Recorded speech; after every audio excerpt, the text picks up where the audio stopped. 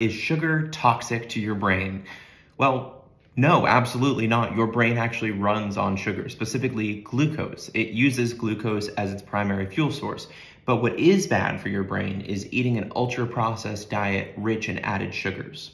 So, what's the difference? Ultra processed food is going to overwhelm nutrient sensors, contribute to inflammation, contribute to metabolic dysfunction, and these are things that are mechanistically linked to worse brain health. These are things that long term seem to represent a real risk to healthy brain function.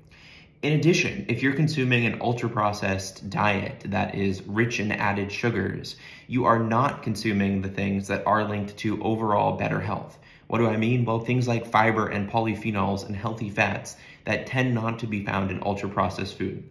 So here are my kind of three rules around how I would approach this topic. So first of all, it is to one, minimize the intake of added sugar in any form. Two, avoid almost completely drinking sugar, so specifically sugar sweetened beverages. These are, of all of the foods, the most consistently linked to worse health outcomes. And rule number three is to maximize your intake of whole, minimally processed foods. Thanks for watching.